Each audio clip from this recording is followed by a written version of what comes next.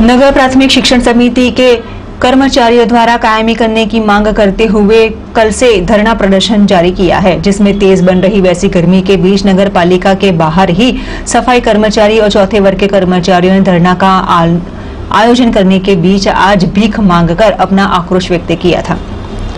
कायमी करने की मांग करते हुए नगर प्राथमिक शिक्षण समिति के चौथे वर्ग के कर्मचारियों द्वारा हड़ताल और धरना का शस्त्र उठाया गया है।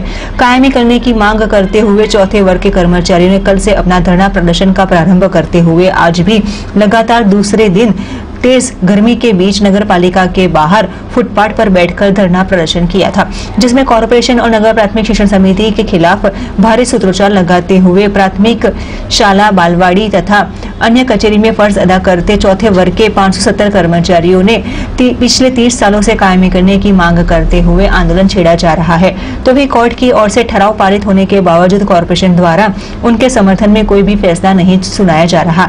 ऐसे में लेबर कोर्ट के फैसले का अमल नहीं करने के बीच, कायमी करने के मांग और भी प्रबल बन रही है। कॉरपोरेशन को ये ठराव भी भेजने के बावजूद अभी तक उनका ठराव पारित नहीं करते हुए चौथे वर्ग के कर्मचारियों की हालत काफ़ी बिगड़ी है।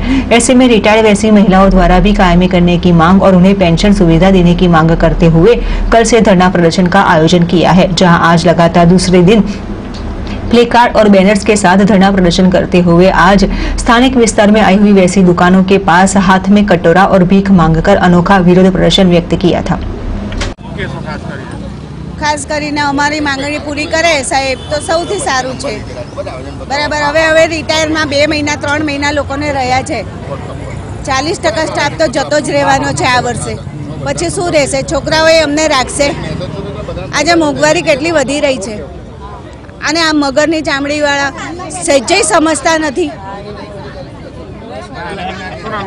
સુરેખાબેન કોઠી. ગઈકાલે હડતાલનો પહેલો દિવસ હતો. બપોરના અરસામાં નગર પ્રાથમિક શિક્ષણ સમિતિના ચેરમેન શ્રી અને વાઇસ ચેરમેન શ્રી આવેલા. અમે એમને અમારા પ્રશ્નની રજૂઆત કરી અને અમારા પ્રશ્નથી વાફિક છે એ. અમે કહ્યું કે સર જલ્દી જેટલું બને એટલું અમને અહીંયાથી ઊભા કરો ને અમને ન્યાય આપો. એમણે એવું કહ્યું જે દર વખતે બધા જ ચેરમેનશ્રીઓ અને મેયરશ્રીઓ કહેતા આવ્યા છે એમને સીધું ઢોળી દીધું ત્યાં કે અહીંયાથી બધું કામ પતી ગયું છે. અમે ત્યાં ઠરાવ કરીને મોકલી દીધેલો- છે. હવે ત્યાંથી કોઈ જવાબ આવશે એટલે અમે તમને બોલાવીશું અને મધ્યસ્થ કરીશું. પણ અત્યાર સુધી કોઈ એવો જવાબ કે લેખિત કે મૌખિક આવ્યો નથી. આગામી દિવસમાં એટલે આવતીકાલથી જ. આજે અમે સાંજ સુધી રાહ જોઈશું. શિક્ષણ સમિતિમાં હાલ જે હંગામી કર્મચારીઓ છે, હાલ હડતાલમાં જોડાયેલા છે, પરંતુ શાળામાં અને બાલવાડીમાં જરૂર પડી છે એટલે ઉચ્ચ કર્મચારીઓ લીધેલા છે. તો એ ઉચ્ચ કર્મચારીને અમે વિનંતી કરીશું કે આપ અમારી સાથે હડતાલમાં જોડાઓ ભલે અહીંયા ના બેસો, ઘરે રહીને પણ જોડાઓ અમારી સાથે. કારણ કે સ્કૂલમાં, બાલવાડીમાં અને કચેરીમાં એ કર્મચારીઓની ખોટ વર્તાશે. કામ થાય નહીં. ત્યારે એમને ખબર પડશે કે તકલીફ શું છે. આજ આજે તો ચોવીસ કલાક થયા છે. અમે ચોવીસ દિવસ તો ચોવીસ મહિના સુધી અહીં બેસી રહીશું. ક્યાં જશે ક્યાં એ લોકો? અમારે કે એમની પાસે ખોટું કરવાનું નથી.